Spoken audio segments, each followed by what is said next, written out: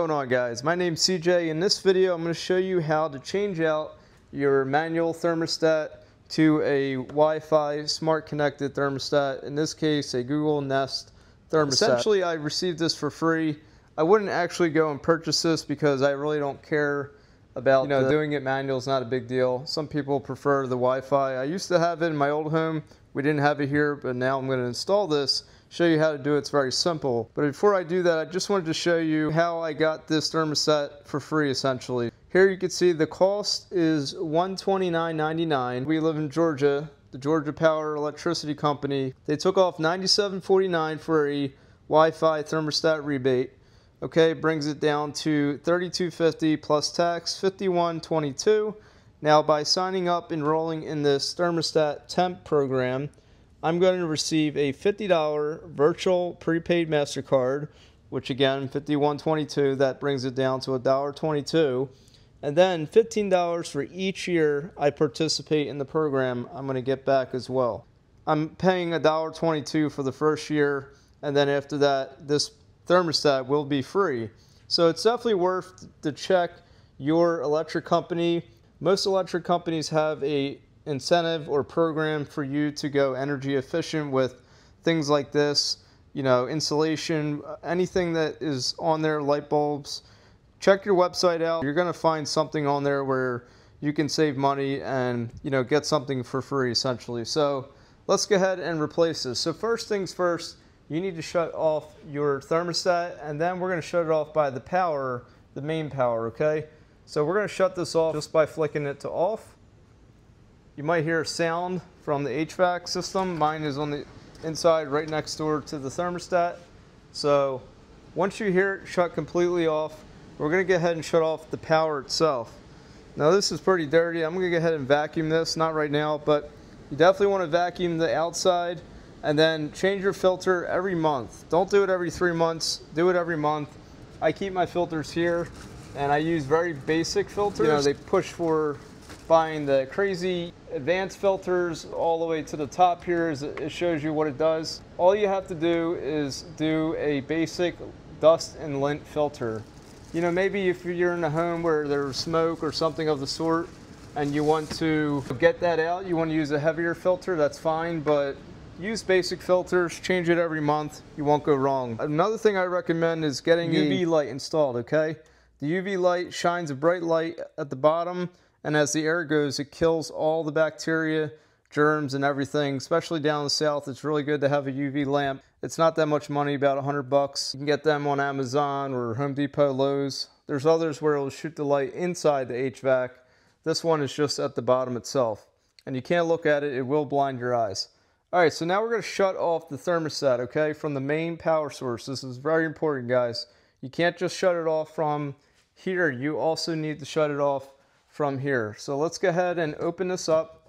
This is the main breaker for the HVAC system. This I just pulled down. You might have it locked. Mine's not locked. And you're just going to flick this off. It's currently on. Flick it off. Now the power is out, completely out. There is no more power this will be turning off, it's starting to fade away. There you go. Power's completely off. All right, so now we're gonna go ahead and remove the thermostat, pull it off the wall just like that, okay? And then you see there's two screws holding the plate, but before that we need to remove the wires. And to remove the wires, there's little screws in so there. get yourself a tiny flathead that can fit in here. We're gonna loosen them up. Remember, righty-tighty, lefty-loosey. You're just gonna turn it to the left all the way so that you can loosen the wire. So right now I'm working on letter C. Once I loosen it, I'm going to remove letter C and I'm to get my letter C sticker and mark it letter C. Don't be afraid to bend the wires if you need to. So I'm pulling out letter C. And if it's tied up like this, then I would just try to get it out of there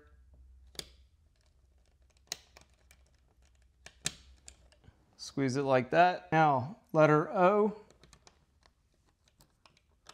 Completely unscrew when you see the screw is kind of flush with this connector.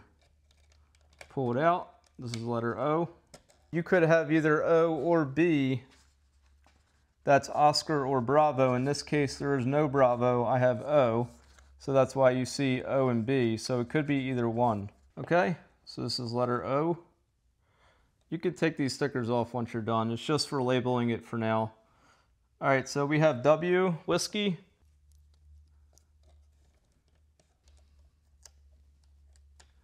Okay, now we're looking at R, H, and RC, which really there's only one in there if you notice.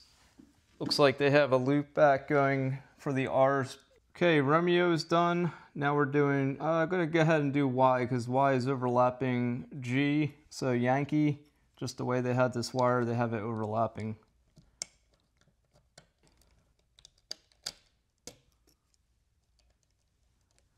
Yellow, you know, these are the colors, right?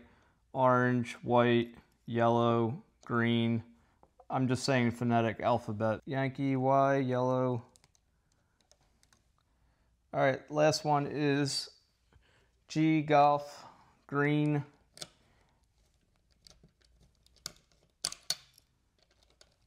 Okay, so all the wires are now completely labeled.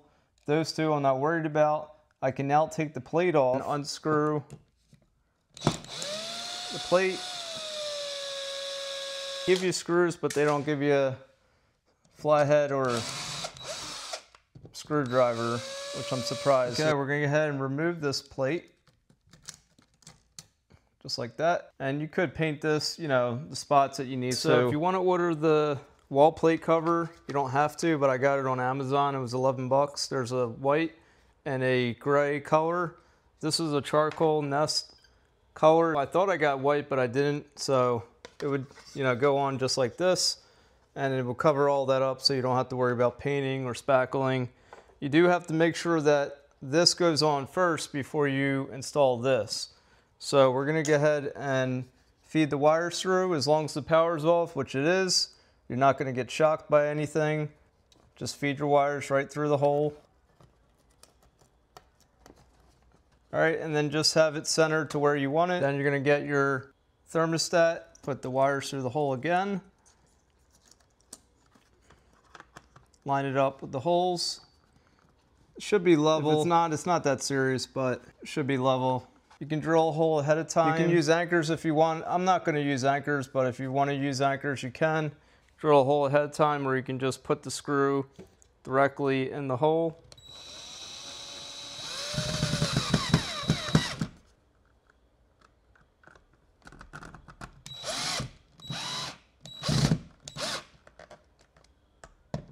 Go ahead and push our wires through. Now you can cut these wires down so that they're not, if they're too long like this, you can cut them down. You would need a wire cutter or you can use, you know, something, a special wire cutter tool, or if you just have wire snips, you can make this smaller, but you're gonna have to strip the sheathing off. And if you don't feel comfortable doing that, it's not that serious. You can just tuck it in like that. It's just to make it more aesthetic. You can also use it with Amazon Alexa Smart App. All right, look at that. That's beautiful. There's a QR code and there's another little box in here. Take that out. Set up with the Google Home app. These are two rechargeable AAA batteries. We just have to remove that tab. Kind of silly, but you know, it just preserved the, the battery usage. So you got to remove that before you, before you put it on. All right, so I'm going to go ahead and cut these wires down shorter because they really should be. You can do it with the wires being long, but it's really better to have them short. So find yourself a pair of scissors or, you know, really need wire cutters. That would be more ideal. And remember your labels. I am cutting it shorter, so I'm going to end up cutting the sticker off for each one. So spread them out as far as you can and keep the wire straight and envision where it's going to go into this connector. So it's going to go just about right there, about halfway. That's where I'm going to cut the yellow one. So here's an example. So I just cut that, but now I need to get that sheathing off so that I can push that in. All right, so once you spread your wires long enough, cut them all with the wire cutter evenly, and you're not gonna wanna use the wire cutter to cut the sheathing off. I would recommend using scissors if you don't have proper wire cutting tool. You're not gonna cut deeply, you're gonna cut lightly just to get that sheathing off. All right guys, once you've trimmed your wires, you took the sheathing off, you're basically going to tuck it in a little bit and it should look something like this. You don't have so much slack like we did before. And now we're going to go ahead and slide each copper cable into the connector. You're just going to simply push it in. The little tab's going to go down and it's going to lock in place. So let's start with the first one, which is Y Yankee, or in this case, a yellow cable. Okay, you see all the tab went straight down. You got C Charlie, even though it's a blue cable, you would think it's B, but all right. Next one on the left is white W whiskey. You don't need to be an electrician to do this. You just need common sense. You're gonna shut the electric off, and that's the most important thing is to shut the electric off before you attempt to touch the wires. On the right side, we have green G Golf. Then we have red R Romeo and then we have OB. In this case, we have O.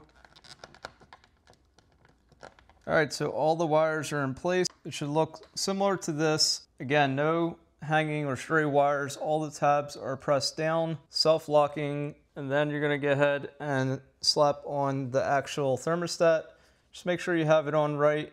The G on this is gonna go down to the bottom and then you're just going to turn it like you're that. You're going to have to scan this QR code and finish the setup in the Google Home app. These are rechargeable batteries. They charge up from the electricity given to the thermostat. You're not going to throw these away. You can buy new ones if they ever die out on you.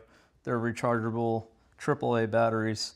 Again, with the G facing down, you're going to go ahead and push it. You can see it says no power, but all you have to do is push it in and it will click into each of the holes here. And you can see that it's level there.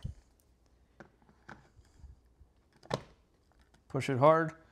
And there you go. That wall plate is awesome. I love how it covers up all the stuff in the back, you know, not having the paint, not having to spackle anything. All right, so no power off. That's important. You want to leave it off, E298. Don't worry about that. That's because the main power is not on. We did not turn the breaker on yet. We will flick it on right now. Okay. Breaker is on. Go ahead and put this cover back in place. Even though this piping's in the way, it's not a big deal. This just slides up on an angle. Kind of have to push hard. And then that goes onto there. And if you want to put a lock on that, you can. Now you can turn the power on. To turn it on, there's no lever on the right. All you have to do is swipe up or down. And then to touch, to enter, you just tap it with this type of thermostat. Slide down. Says mode off touch it, and cool. All right, just heard it kick on. HVAC system is turning on. Like, subscribe, and comment, and I'll see you in the next one. Peace.